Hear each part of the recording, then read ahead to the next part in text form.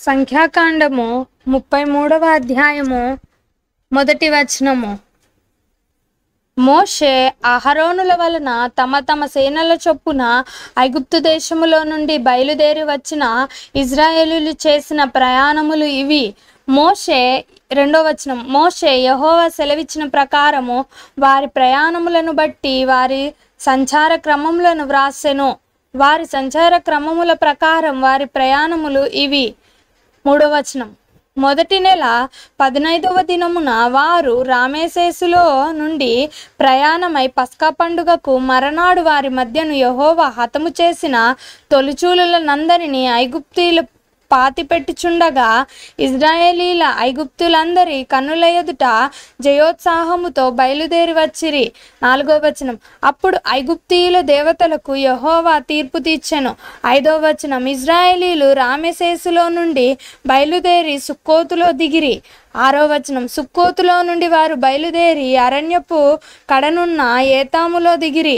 ఏడో వచనం. ఏతాములో నుండి బయలుదేరి బయల్సెపోను ఎదుటనున్న పిహా హీరోతు తట్టు దిగిరి. మి మిగ్గోలు ఎదుట దిగిరి. ఎనిమిదవ వచనం. పిహాహిరోతులో నుండి బయలుదేరి సముద్రపు మధ్య నుండి అరణ్యములోనికి చేరి ఏతాము అరణ్యమందు మూడు దినముల ప్రయాణము చేసి మారాలో దిగిరి. మారాలో నుండి బయలుదేరి ఏలీముకు వచ్చిరి. తొమ్మిదవ వచనం ఏలీములో పన్నెండు నీటి బుగ్గలను డెబ్బది ఈత చెట్లును ఉండెను అక్కడ దిగిరి. పదవ వచనం ఏలీములో నుండి వాళ్ళు బయలుదేరి ఎర్ర సముద్రము నొద్ద దిగిరి.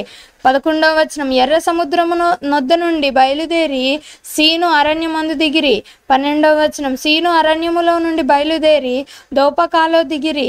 పదమూడవ వచనం దోపకాలో నుండి బయలుదేరి ఆలుషులో దిగిరి. పద్నాలుగో వచనం ఆలూషులో నుండి బయలుదేరి రెఫిదీములో దిగిరి. అక్కడ జనులు త్రాగుటకై నీళ్ళు లేకపోయేను. పదిహేనో వచనం. రెఫిదీములో నుండి బయలుదేరి సీనాని అరణ్యమందు దిగిరి. పద్న పదహారో వచనం. సీనానియు అరణ్యము నుండి బయలుదేరి కిబ్రోతు హత్తావాలో దిగిరి. పదిహేడవ వచనం. కిబ్రోతు హత్తావాల నుండి బయలుదేరి హాజేరోతులో దిగిరి. పద్దెనిమిదవ వచనం. హాజేరోతులో నుండి బయలుదేరి రిత్మాలో దిగిరి. పంతొమ్మిదవ వచనం. రిత్మాలో నుండి బయలుదేరి రిమ్మోను పారేసులో దిగిరి. ఇరవై వచనం. రిమ్మోను పారేసులో నుండి బయలుదేరి లిబ్నాలో దిగిరి. ఇరవై ఒకటో వచనం. లిబ్నాలో నుండి బయలుదేరి రీసాలో దిగిరి. ఇరవై రెండవ వచనం. రీసాలో నుండి బయలుదేరి కెహేలాతాలో దిగిరి. ఇరవై మూడో వచనం. కెహేలాతాలో నుండి బయలుదేరి షాపేరు కొండనుద్ద దిగిరి. ఇరవై నాలుగో వచనం. షాపేరు కొండనొద్ద నుండి బయలుదేరి హరాదాలో దిగిరి. ఇరవై ఐదో వచనం. హరాదా నుండి బయలుదేరి మకెలోతులో దిగిరి. ఇరవై ఆరో వచనం. మకెలోతులో నుండి బయలుదేరి తహాతులో దిగిరి. ఇరవై ఏడో వచనం. తహాతులో నుండి బయలుదేరి తారాహులో దిగిరి. ఇరవై ఎనిమిదవ వచనం. తరా తారాహులో నుండి బయలుదేరి మిత్ మిల్ మిత్కాలో దిగిరి. ఇరవై తొమ్మిదో వచనం. మిత్కాలో నుండి బయలుదేరి హష్మోనాలో దిగిరి. ముప్పై వచనం. హష్మోనాలో నుండి బయలుదేరి ముసేరోతులో దిగిరి. ముప్పై ఒకటో వచనం. ముసేరోతులో నుండి బయలుదేరి బెనేయాకానులో దిగిరి. ముప్పై రెండో వచనం. బెనేయాకానులో నుండి బయలుదేరి హోర్ హగ్గిద్గార్దులో దిగిరి. ముప్పై మూడవ వచనం. హోర్ హగిద్గాదులో నుండి బయలుదేరి యద్బాతాలో దిగిరి. ముప్పై నాలుగో వచనం. యద్బాతోలో నుండి బయలుదేరి ఎబ్రోనాలో దిగిరి. ముప్పై ఐదో వచనం. ఎబ్రోనాలో నుండి బయలుదేరి ఎస్సోన్ గెబేరులో దిగిరి. ముప్పై ఆరో వచనం. ఎస్సోన్ గెబేరులో నుండి బయలుదేరి కాదేశు అనబడిన సీను అరణ్యములో దిగిరి. ముప్పై ఏడో వచనం. కాదేశులో నుండి బయలుదేరి ఏదోము దేశము కడనున్న హోరు కొండ దగ్గర దిగిరి.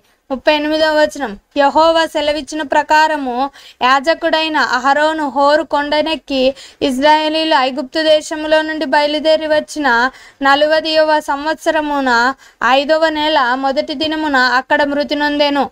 ముప్పై తొమ్మిదవ వచనం. అహరోను మాట అహరోను నూట ఇరవై మూడు ఏండ్లు ఇలా ఈ- ఈడుగలవాడై హోరు కొండ మీద మృతి నొందెను. ముప్పై నలభై వచనం. అప్పుడు దక్షిణ దిక్కున కానాను దేశమందు నివసించిన ఆరాధు రాజైన కానానీయుడు ఇజ్రాయేలీలో వచ్చిన సంగతి వినెను. నలభై ఒకటో వచనం. వారు హోరు కొండ నుండి బయలుదేరి సల్మానాలో దిగిరి. నలభై రెండో వచనం. సల్మానాలో నుండి బయలుదేరి పూనోనులో దిగిరి. నలభై మూడో వచనం. పూనోనులో నుండి బయలుదేరి ఓబోతులో దిగిరి.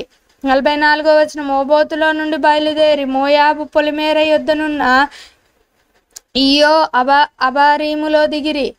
నలభై ఐదో వచనం. ఇయో అబారీములో నుండి బయలుదేరి దిబోను గాదులో దిగిరి. నలభై ఆరో వచనం.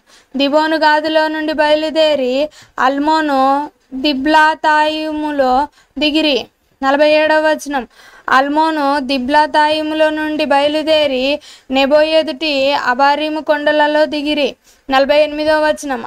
అబారీము కొండలలో నుండి బయలుదేరి ఎరుకో దగ్గర యోర్దానుకు సమీపమైన మోయాబు మైదానములలో దిగిరి.